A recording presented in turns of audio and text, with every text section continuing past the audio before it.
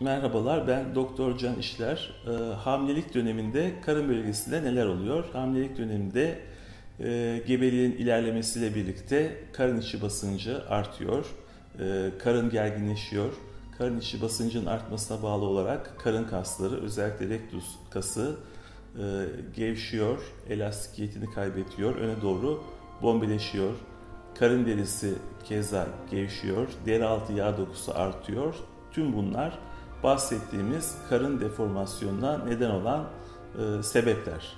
Hamilelik sonrası neler oluyor? Aniden tabii ki karın basıncı düşüyor.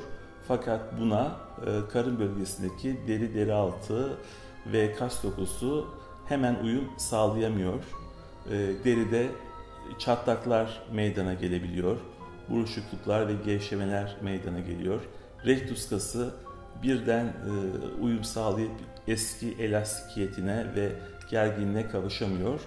E, genelde genetik olarak bazı hanımlarda düzelme tama yakın olsa bile bu bahsettiğimiz deformasyonlar geriye dönmüyor ve kalıcı oluyor. Tabii ki hamilelikle birlikte sadece karın bölgesinde değil, e, göğüs, kalça, basen bölgesinde de bir takım deformasyonlar meydana geliyor.